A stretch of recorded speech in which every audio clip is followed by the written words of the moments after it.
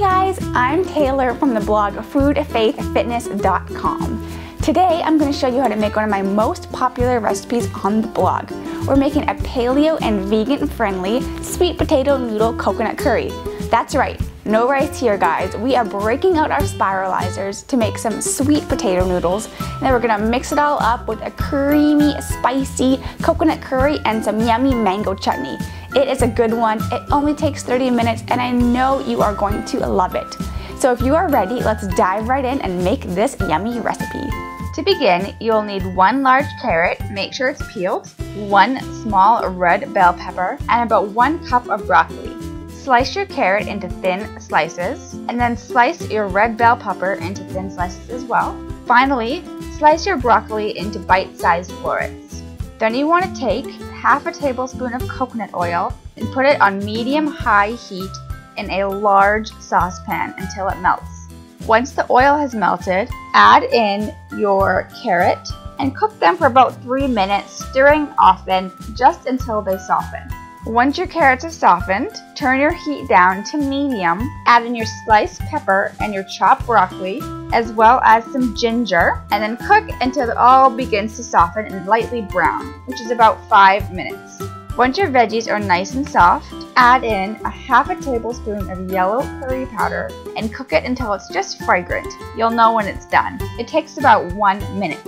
Finally, you want to add in one whole can of coconut milk, full fat here. Don't skimp and use the light version, it's not as good. Add it in and stir it around, adding a pinch of salt. Once the coconut milk is well incorporated with the veggies, raise the heat to medium high and bring your mixture to a boil. Once it's boiling, turn the heat down to medium low and just let it simmer for 15 minutes, stirring occasionally, and then it will thicken.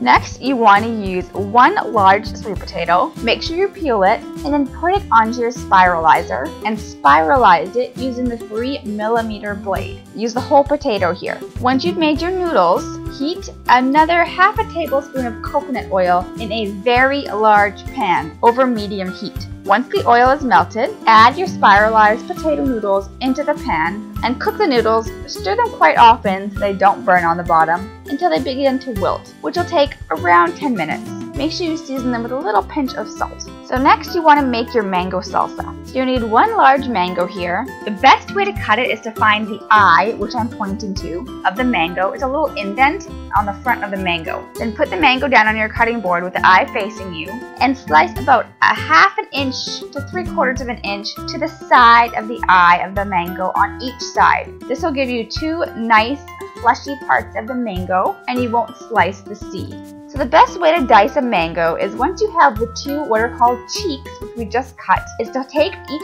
cheek in your hand and to slice it three quarters of the way through the fruit. You don't want to cut all the way through because you'll cut your hand. Once you've done that, flip it and do the same thing on the other side so that you end up with little squares, like little dice. Once this is done, take a large spoon and use it almost like a knife to go around the edge of the mango half scraping out all the little dice into a bowl. Perfect. There you go. You have a diced mango. Now into the bowl with your diced mango, you want to add in diced red onion, cilantro, about half a teaspoon of raw apple cider vinegar, and a pinch of sriracha. Sometimes I use a red Thai chili. If you can't find one, sriracha works totally well in a pinch. And then simply just stir the salsa all together until it's well mixed. By the time your salsa is all finished and you've made all your noodles, your curry should be nice and thick. Just look at it. You can see it's reduced, it's super thick, luscious and creamy, and it's ready to go. You can also see here that the sweet potato noodles have wilted a lot. They are fork tender and they are also ready to mix up with our coconut curry deliciousness. To plate your dish, simply divide the sweet potato noodles between two bowls this recipe makes two servings. And then divide our creamy, delicious coconut curry on top of the noodles. And finally, garnish with that spicy, sweet, delicious mango chutney that we just made. And there you have it. 30 minutes is all it takes and you have one super delicious, super healthy dinner for your next Meatless Monday or really any day of the week. It even makes great leftovers in your lunch kit. If you try the recipe, I would absolutely love for you to leave a comment below and letting me know your thoughts on it. And then make sure you give the video a like and a thumbs up and subscribe to my channel because I am sharing a ton more easy, healthy recipes with you. If you want to grab the full recipe for this coconut curry, just head to my blog, www.foodfaithfitness.com. There's a link below and you can snag it. Thank you so much for tuning in. Now go enjoy your curry and I'll see you later. Bye for now.